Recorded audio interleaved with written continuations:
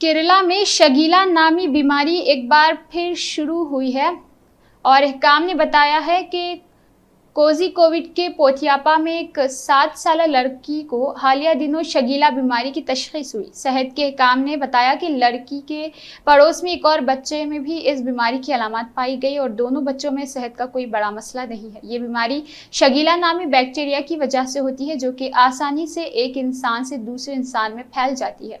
ये अलामत शदीद होने की सूरत में मौत वाक़ हो सकती है। इसलिए एहतियाती तदाबीर अख्तियार करने का मशवरा दिया जा रहा।